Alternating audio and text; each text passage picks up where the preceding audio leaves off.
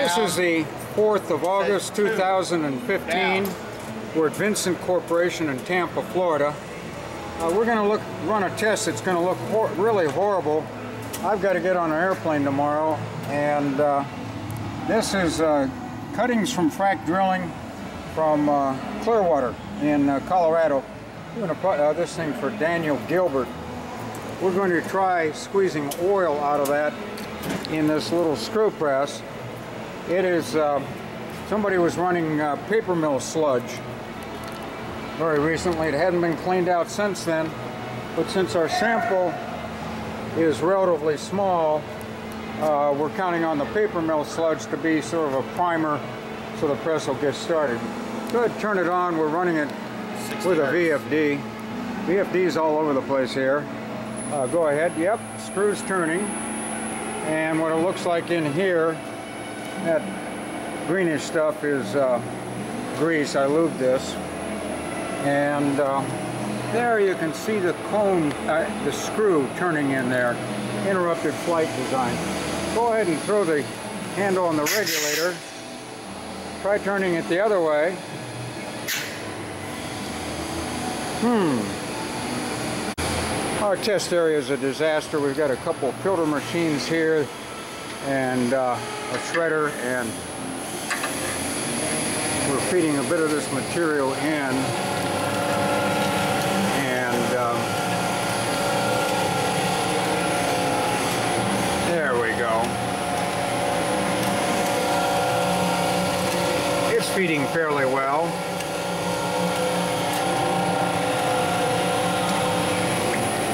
And so it's going into the screened area opening on this screen are 15 thousandths of an inch on the inside. In the earlier part of the video you can see the inside. When we get enough stuff in there it will push this cone open against the air pressure. I set the air pressure at 2 bar, um, sort of a moderate setting. It ought to work. Aha, we're already getting some stuff coming through the screen and um, it's not a flow of oil. Uh, these holes are for steam injection. If we wanted to heat the material up while we're doing this, uh, we could. And it's progressing through towards the air it comes out.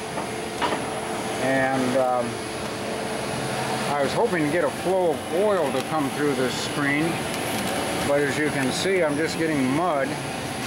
The um, fiber, you can see fiber in there. I'm going to set the air pressure a lot higher. Okay, I reset it for 5 bar. You can see it's probably coming out a little thinner here. That air cylinder is pushing the door more shut in an effort to drive oil through the screen. Probably have something similar on this side of the screen. Here's the cake that we're getting out. It's falling down here already. Um, Yes, I'd hoped to get a stream of oil from filtering it. I am filtering the uh, bigger pieces out. And there's, you can see this is um,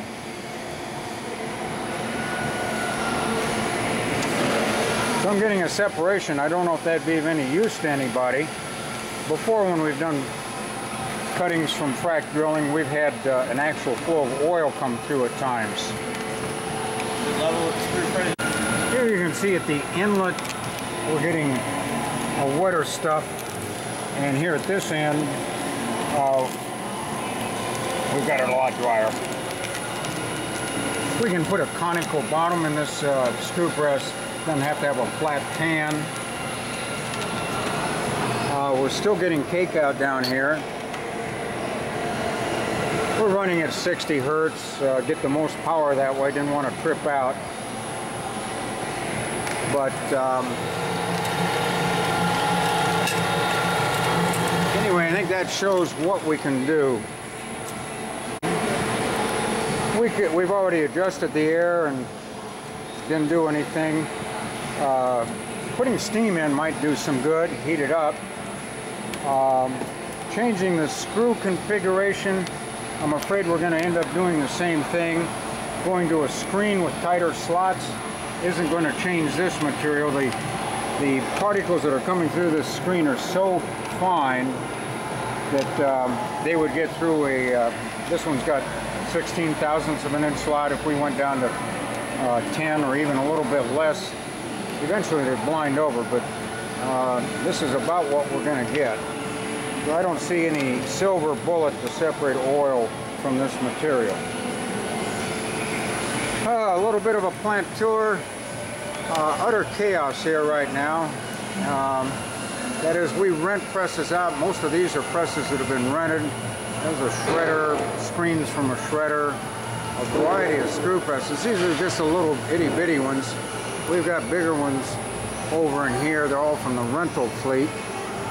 And um, there's one getting uh, sandblasted, painted, primed, um, and going headed for the assembly department. Uh, over here we have the screw department. You see a bunch of screws. If you see any welding flashes, it's because guys are making more screws over there. Yeah, we're on two shifts, 10 hours each, and uh, working Saturdays too, so things are piled up. We're saving uh, a couple of gallons of sample in case uh, something else happens to be done. Right now we're uh, feeding in sludge from a paper mill uh, in an effort to purge out and clean the press. And um, now we're getting water out. And that water is coming from that paper mill sludge. Um, hoping it'll push all this uh, this material out of the press, help clean it up for the next guy.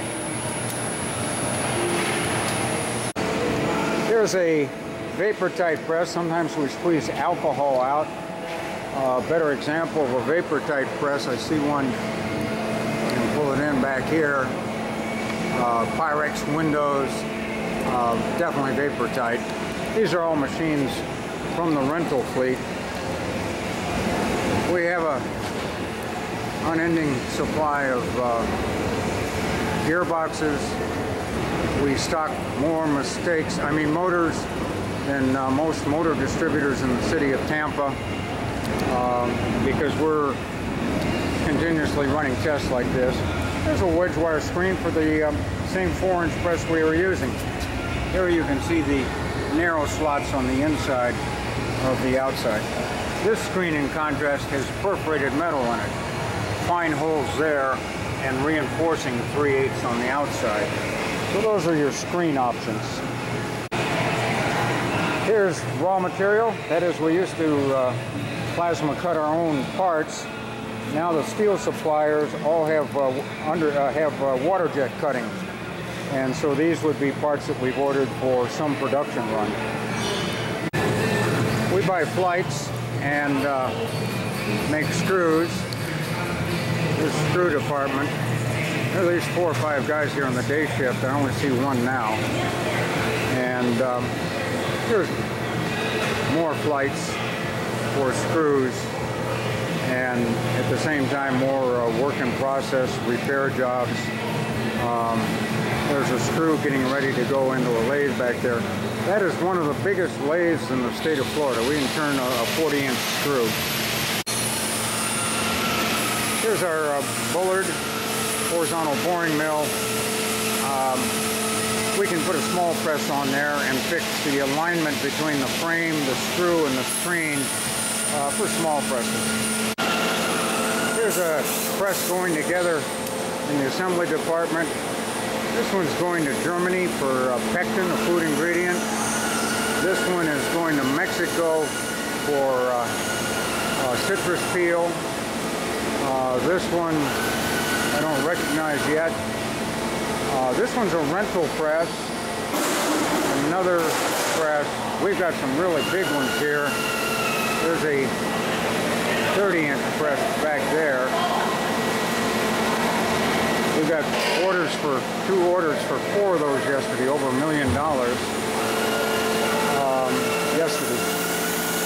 Another press in the assembly department, one getting ready, screen, another press being assembled, another press getting ready for assembly, and uh, we're jammed up with stuff. It's um, making screens here. Screw press is getting ready. We've got the frames welded out. And we cleaned out one area. Here's a discharge cone for a larger press. It'll have bronze bushings in there. Uh, machine shop, mostly lathes, uh, a couple drills, very little milling. We try to avoid milling. Uh, that's slow, runs up the cost. So everything is turned into a cylindrical shape. Okay, we're back where uh, we're cleaning out this bed. I see we got the paper mill sludge to go through. Still getting a bit of water out, but we got rid of most of this uh, oily stuff. Okay, just a minute. What we did to chase out the paper mill sludge is we fed in uh, rice hulls. That's uh, and here's some uh, cottonseed hulls. those are good uh, press aids to make, say, apple uh, work, but they're also good for cleaning out a screw press. Yep, there's the rice hulls making their way through. Clean press, sort of. Last bit of video. This little four-inch press has an extra long inlet hopper. Uh, it, you can see the screw down on the bottom. Uh, we did this one, I sold one like this for frac drilling because they had a shaker screen and the cuttings were coming off the shaker screen about a meter wide and going into a small press. Here we have our mother hen and her latest brood of chicks. Uh, four have survived possum got one. And there's uh, one of the daddies, uh, Phoenix, Golden Phoenix uh, chickens. And uh, here's a lizard